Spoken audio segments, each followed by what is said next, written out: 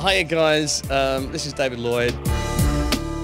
I'm uh, the artist of uh, V for Vendetta, which uh, I'm sure you may be aware of now because it's uh, been made in a movie.